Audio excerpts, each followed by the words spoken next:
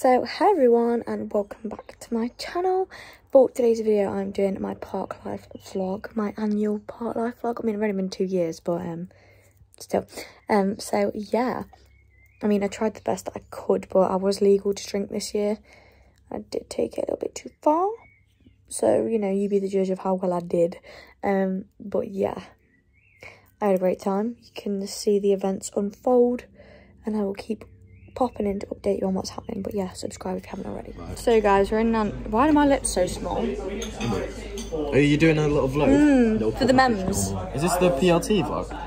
Oh no, not Pretty Little Thing. What's that What are you talking about? You're doing a YouTube video for... Oh, life.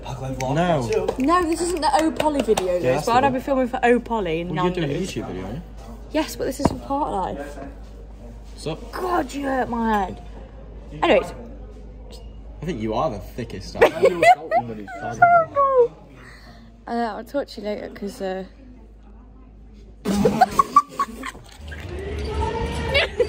Another sunbed. So we've, we've just been for a Nando's, and now I don't really know what we're doing.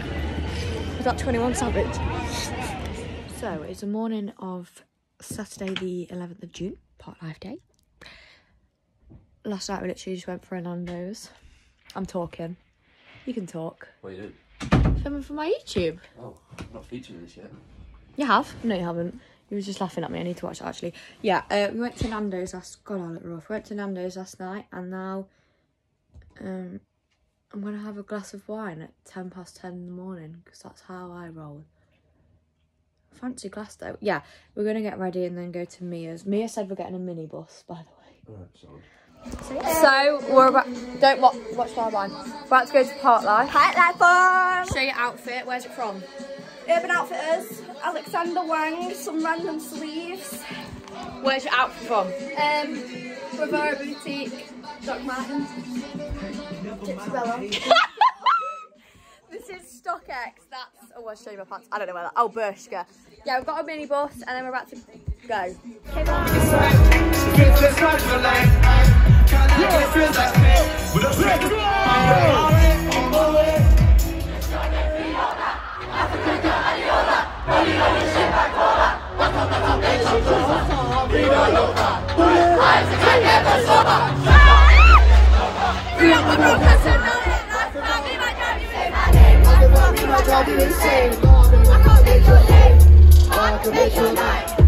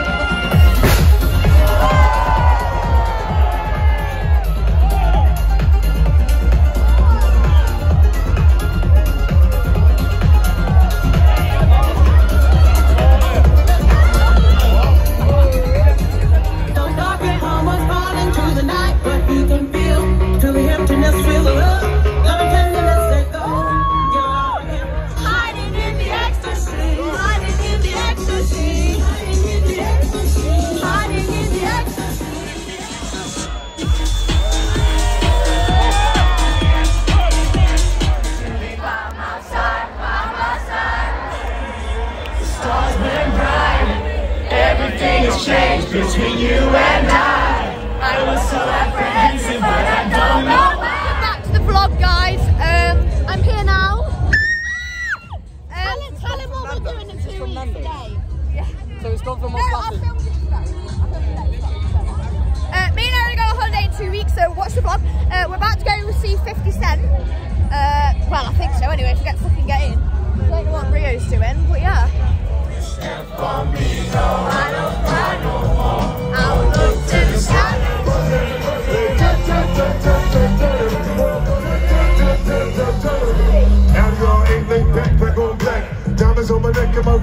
I.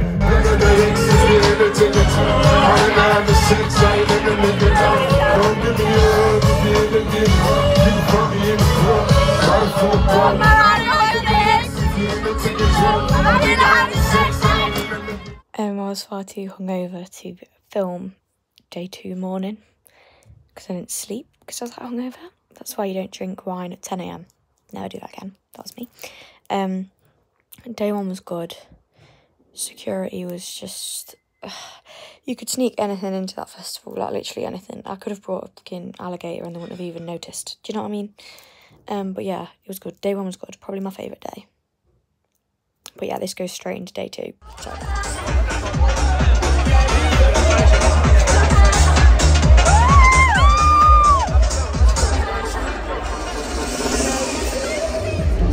Some